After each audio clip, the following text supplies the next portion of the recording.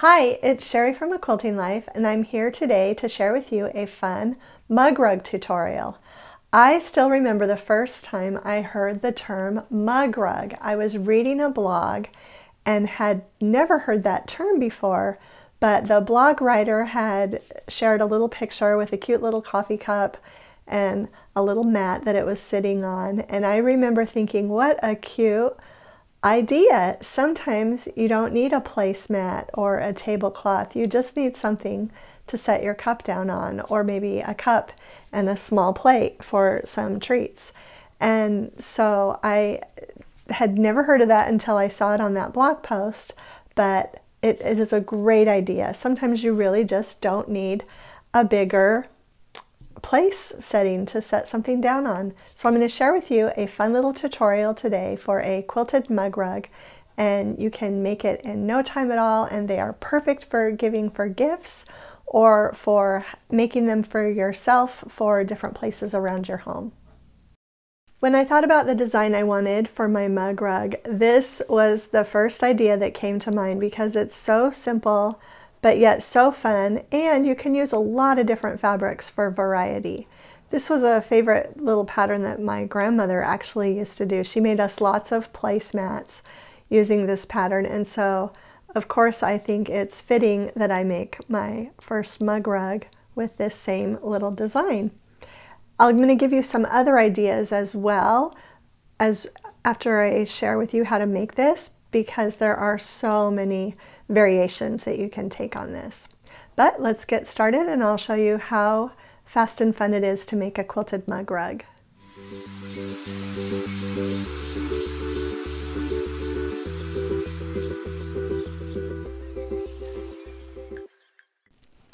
Okay, when I made my mug rug, I actually had some little pieces left over from another project, but I'm going to show you what to do to make them just the way I did.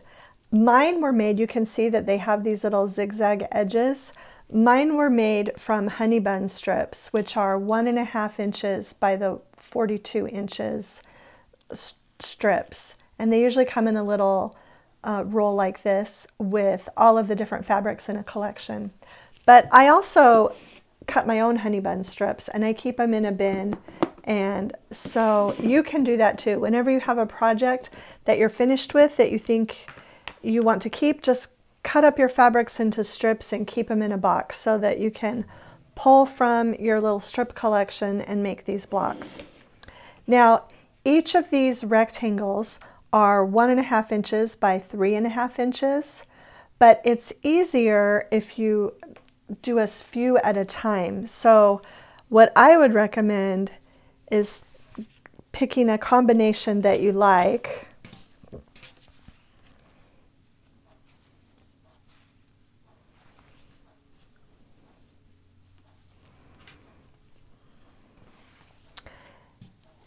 And don't even really worry about how long your strips are. But make a strip set and after it's all sewn, then you can cut your three and a half inch squares from the sewn pieces. It just makes it go a lot more quickly and accurately. Sometimes if you cut these right at three and a half inches, it might get distorted a little in your sewing. So it's a lot easier just to make a few. And, and if you're only making one mug rug, then I might suggest cutting these strips at four inches and then after they're sewn together, you can trim your square to measure three and a half inches by three and a half inches. So for one mug rug, then you'll need six three and a half inches by three and a half inch strip piece squares. And also to save even more time, if you wanted, each of these could just be a solid square. You could just do a six different three and a half inch squares. But I am going to have a little printable that you can download with some of these different ideas that I have for this block. Uh, on the other hand too, you could just do one and a half inch by six and a half inch strips and you would need nine of them. So they would all be going vertically. And so you would just sew those strips together. There's there's so many different combinations, but again, I really do like this kind of combination. It gives you plenty of room for variation in your fabrics and it looks super cute. So after you've got either six squares or six strip piece squares, just start laying them out. And what I did was I alternated every other one.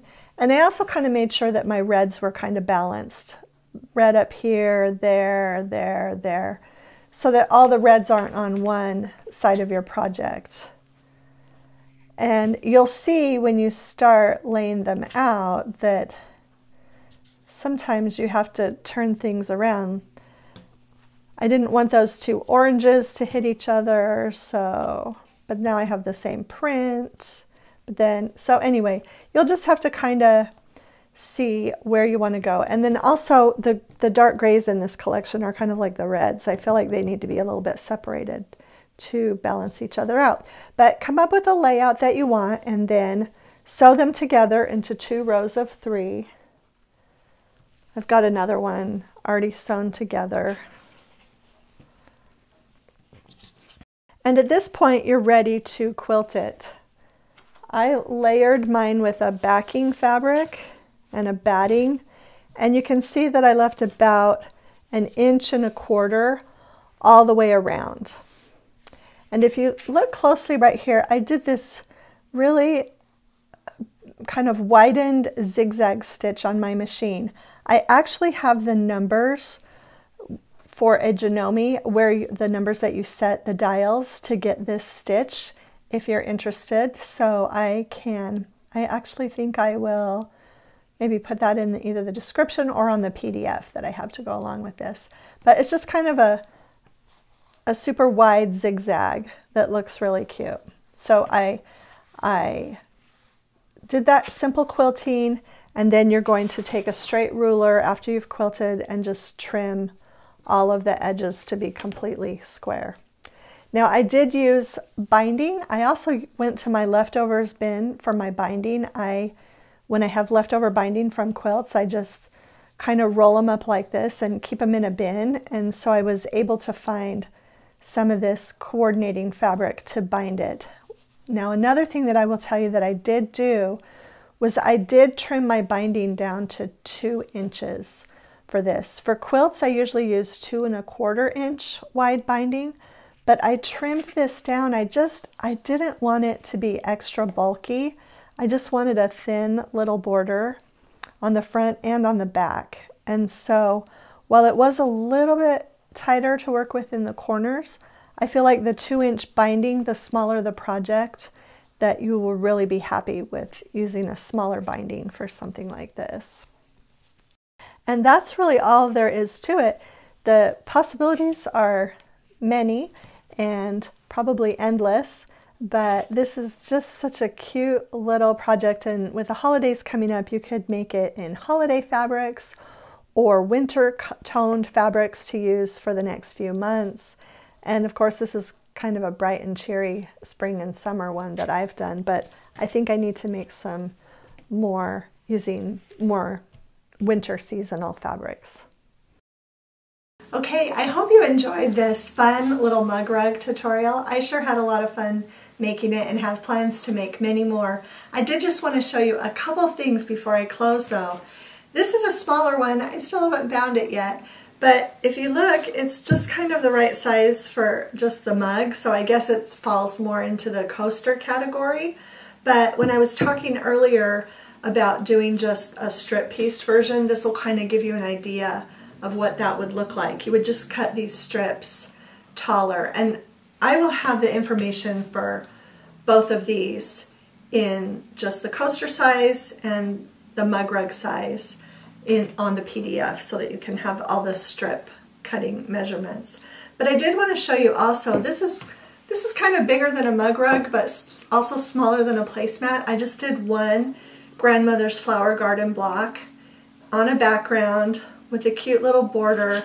And it's kind of actually just makes a nice little arrangement also for a mug and a plate of cookies or this would be super cute in holiday fabrics as well. So just a few ideas. I hope you enjoy making some mug rugs soon. And I would love it if you enjoyed this video, if you'd hit the like button and share it with a friend. And thanks so much for stopping by.